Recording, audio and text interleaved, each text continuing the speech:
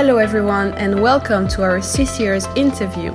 Today, I have the pleasure to have with me Cristina and Jairaj, who will talk about their experience in Friend In Need India Trust so far. Welcome, guys. Maybe we can now continue with the lessons that you guys have uh, learned during this internship. Um, yeah, did you maybe have to adapt or to adjust uh, to the organization style or to the team, the way they function or proceed in general? Yeah, like for me, it was more of because the first month was more relaxed and just generally i am more of a flexible worker like i don't mind uh like starting work late and ending it late or like having like multiple days of basically just grinding through something and then taking a chill uh, so because i have like that level of flexibility that's something that professor also needs with her uh, so my work style was kind of similar to the way professor needed me to work which is like you don't need to be in the office by 8 a.m. and you don't need to be out of the office by 5. But if I call you at 9 p.m. and you need something done, I need you to be there for that. So that's something that professor needs because it might be something that she forgets through the day.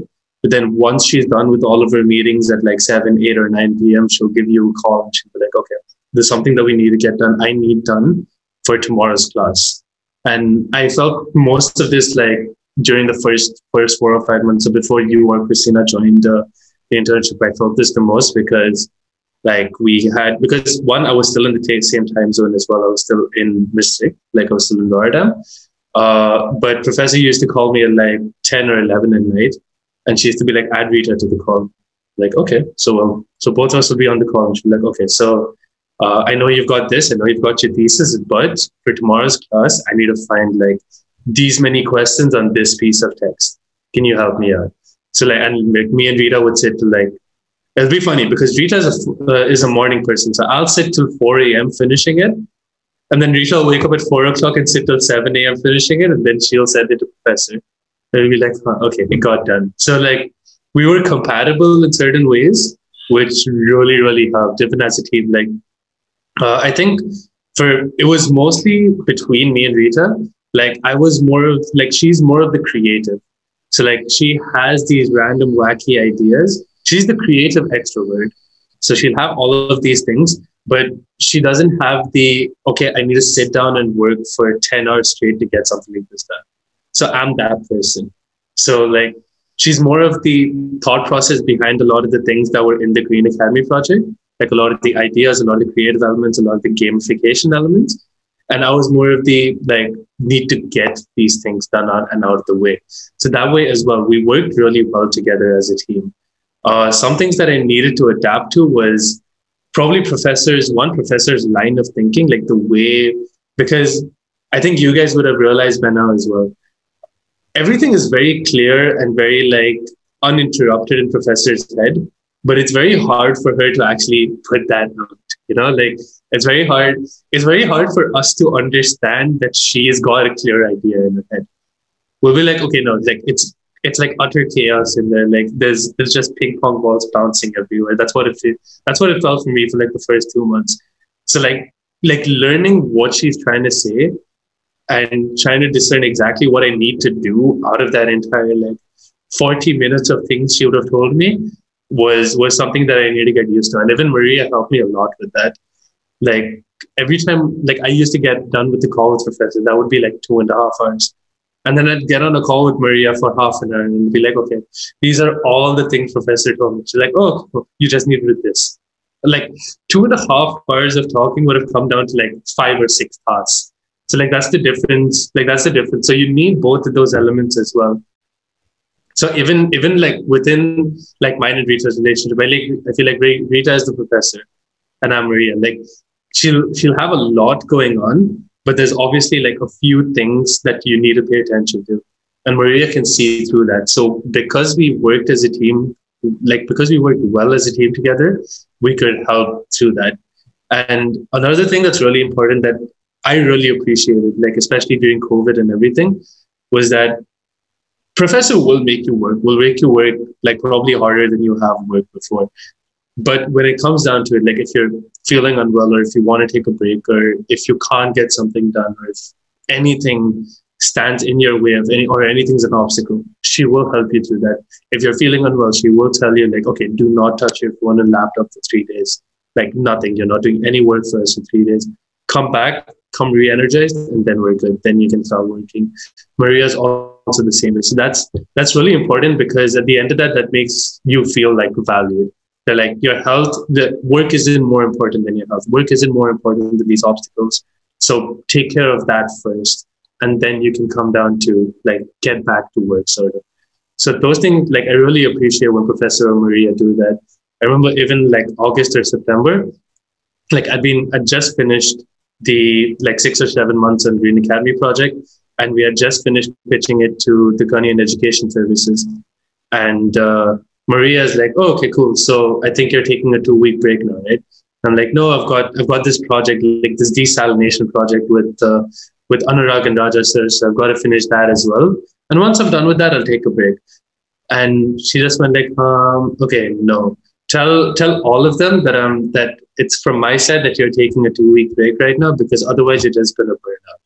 So like she took the initiative on herself. Like, no, you're not doing any more work. Like even though you're not getting that tired or you're not burning out right now, if you need to do another project beyond this without a break in between, like it's gonna be difficult for you. So take the break, re-energize, don't do anything, and then get onto it. So all of these like small, small things, they're really, really important to be a part of the team. But yeah. Yeah, for sure. I also did same experience with the flexibility. I wasn't used to that at all because at university you have uh, what you have to do per day and you need to finish and you have your hours at uni and yeah, like since I came to the internship, I didn't have like fixed hours, and then I got used to being flexible and working around them. Yeah, I didn't have. I mean, obviously, you need like some adaptation time uh, for every job that you take, um, which is usually like a few weeks, a month. So that's what happened to me when I started. Just needed like a month to really know what was going on.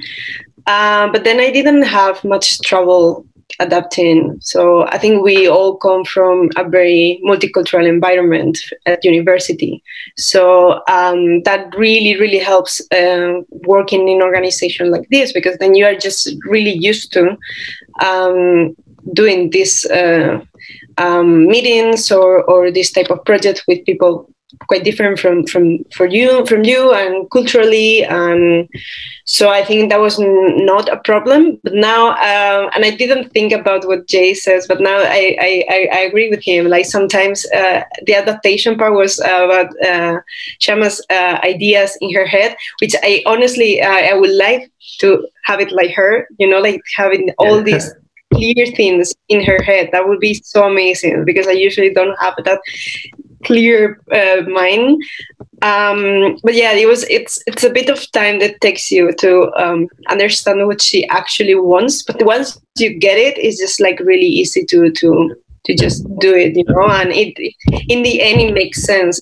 So also when we work in we were working about the policy brief uh, um, so you sometimes you didn't really understood what what was going on uh, but then you you she gets it done and then you read it and i was like okay that this oh, is that this makes a lot of sense. exactly. This this makes a lot of sense. And now i understand what where my input went you know? So sometimes you just like get some inputs that you re- really don't know if it makes sense or not and then you you see that it did make sense and and and it's there you know some somewhere. So i think it's just like some some time that it takes to to adapt the work from Shyama's head to, to actual work. But other than that, it was it was quite easy. Yeah. Yeah, I think a lot of people like get frustrated with that as well, with the fact that because I remember like a few of the interns that we had before as well, mm-hmm. they not knowing what to do gets really frustrating for them. So like I remember a few of them used to like text me almost every day, like, okay, we finished this meeting. It basically used to be how I used to text Maria they used to text me, and that felt really funny because I was just like, yeah, okay, like she doesn't really have anything that we need to do right now. She's just giving us the concept. She's just giving us what we need to do over the next few months. But in terms of specific things, like nothing's come up yet. and that starts agitating them over a few times. So like being able to persevere through the the adaptation phase where you need to actually understand how a professor is thinking, like that becomes really difficult for some people. And that's why like professor has a handful of like people who work close with her, and like everyone else is just like they're hovering. They're there for like once in a while help and all of that, but not really like on a daily basis or on like almost every project that she works with us together. So like we've managed to get through that, but a lot of people don't actually get to that. It's kind of our own way of like scoping through interns that if you guys are flexible, if you guys can get like you guys can work hard enough that you actually understand how I think, then work. Otherwise, like it's going to be a little bit of a difficult relationship for us. Mm-hmm. Yeah. Yeah, I was also one of those people asking you guys uh, after meetings um, what to do as well, and I kind of still do sometimes. what do you think the most important uh, thing uh, thing is that you have learned so far during this internship? Other than the fact that I've gotten a very valuable mentor, like I think that's that's something that I put at like a super high regard. Like I believe Professor to be like my mentor right now. Like any problems or any questions that I have, she's probably the first one who knows it. Any any progress that I've made in any other part of my life, she's probably the first one to know it. And she like her opinion and her like viewpoints are always welcome for me. Uh, but anything specific that I've learned, uh, probably maybe a little bit about myself, which is I've I feel like through the experience, I've understood that I'm very passionate about education. Uh, I feel like it's something that I wouldn't have gotten if I went for a master's directly, or if I kept going into like a standard, like a corporate consulting job. Like it's something that I wouldn't reveal about my, like wouldn't have understood about myself otherwise. And the reason I understood this was the first project that I worked with Professor, the Green Academy project, and from then it's become it's become like a staple part of my life. So I think more than anything else, something like working with professor really helps you understand more about yourself. Because one, you're given the creativity and you're given the flexibility to do what you want. She, I think, Cristina, you should also remember, like one of the first conversations that all of us had together, she was just like, okay, what do you like doing? Because I want to create, I want to take up projects that you would genuinely be interested in as well. So like those are the kind of things that you wouldn't find in other internships. And on top of that, she throws you, like as Cristina says, it throws you in like a billion different things. So you'll also find out things that you didn't know you enjoyed that you actually did. Then you'll also find out things that you thought you enjoyed, but you just genuinely don't. So like those sort of things, like just learning those things over a period of time is super important. And it's just so much faster as professor because one, she's an academic in UNU. So if you have any academia related interests, she can facilitate that. Two, she's running an NGO. So you have any social aspects that you're interested in, she can facilitate that. Three, she's got a massive network as well. So any other random specific things like something like water, random research, she can facilitate that too. So it's she's got a very wide ranging like spectrum of things that you can get involved in and things that and she she's also like that. She also finds interest in almost everything. She also gets interested by the most random stuff as well. Like there's been days where we finish maybe a three-hour meeting, and then we'll talk about uh, about movies for another hour just because she likes super old Japanese movies. Like out of nowhere, it's just some very random stuff that she likes, like that she enjoys talking about. So because of that, because that's the environment you're working in, learning a lot of trying to use that to the most is super important. And learning random things about yourself was the most important part for me. It's not exactly a skill, but it probably provides the most direction that you can get uh, as like a 21 year old. You and me, Dorina, were the same age. Like as a 21 year old, having direction at any point in your life is super important. And she's provided that at least for now. So that that's that's really really important to me. Um, I agree with AJ. Uh, you learn a lot, a lot about yourself. That is true, and you don't have maybe the time in other internships to do so uh, it's not like here we don't work and we really have time to just think about ourselves but it's just like the work you do makes you think about uh, your future and what you like and what you don't like. So i agree with that. And for me also i learned a lot about uh, being patient. It's not like i was an impatient person. I, I wasn't. I, I consider myself always to be a patient person for things and people that deserve it. Some others I just don't have patience to. Uh, but this, um, I think, probably also the pandemic is also learn.